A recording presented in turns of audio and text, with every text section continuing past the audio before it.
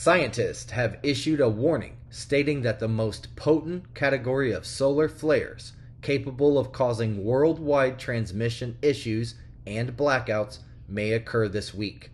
On Sunday, radio blackouts were already detected, although the specific locations were not disclosed by the scientists.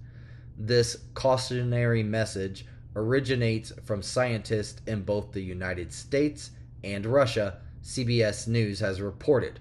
The scientist from Moscow's Fedorov Institute of Applied Geophysics reported observing three solar flares on Sunday and expressed the possibility of X class flares occurring on Monday, as per Reuters.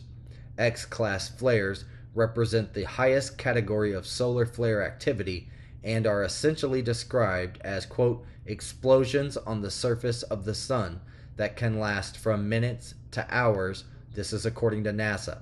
The agency refers to X class flares as, quote, the real juggernauts.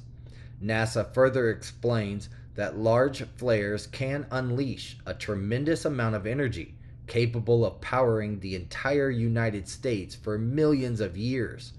The most powerful X class flare on record occurred back in 2003 and was so intense that it overwhelmed the measuring sensors, according to NASA.